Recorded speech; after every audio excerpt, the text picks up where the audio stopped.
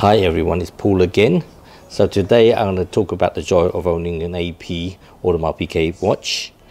Um, I know a lot of people associate AP with the Royal Oak, so they expect to um, see that. Um, but today I'm going to cover the older type, the dress watch from AP.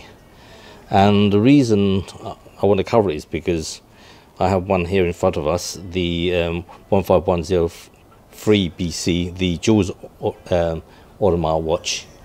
Um, the reason why I want to cover it is because I think it's great value today. I mean, this when this came out, it was about twenty thousand pounds, and now you could probably pick it up for about six thousand pounds.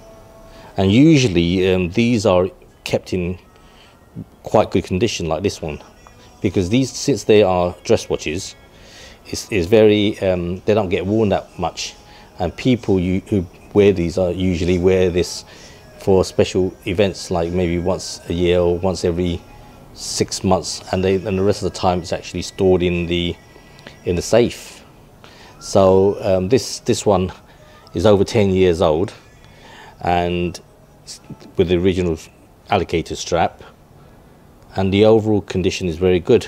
Um, it's, it's 36 millimeter white gold with factory set diamonds, manual wind, uh, as for most watches, but um, this one, um, since it was made some time ago, in those days, um, it was quite um, popular to have small dress watches. So th that's the reason why it's got 36 millimeter on this one.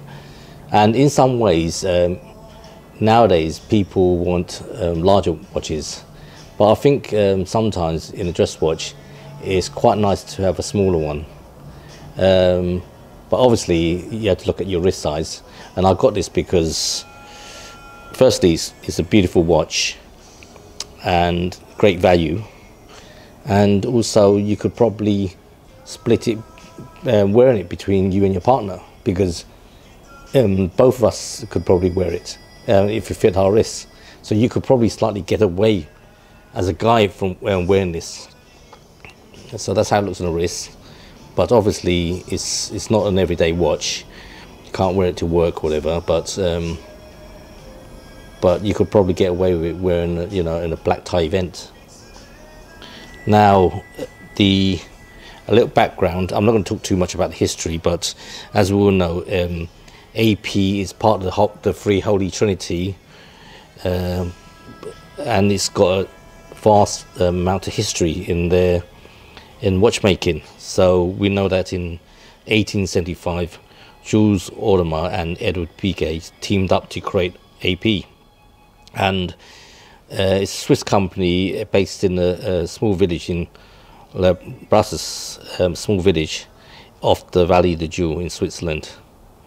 And um, the other really big milestone for them was in 1892. They made a, a the minute repeater. So at that time, they were the the leading edge, the innovators of watchmaking and complications. So this is going to be a short video, but I just want to show you what I got recently. And um, really the message of this video is um, have a look at some of the old AP stuff. They have tons of really nice dress watches around that time, but it seems like nobody's really interested and the prices are reasonable. And if you look at the movement here, it was quite well done. And I don't think they they make it. Uh, um, they'll make these quite nice as as they were before. And when you look at this, you can see the the era of how and when they made this. Very classical watch, very well made, nice dress watch. Okay, like and subscribe, and give me your comments. Thanks, bye.